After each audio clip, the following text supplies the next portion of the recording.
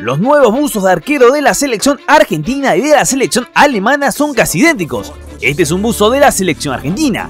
y Este es el arquero alemán con el buzo suyo opuesto. Veamos en detalle cómo es la camiseta de la selección argentina.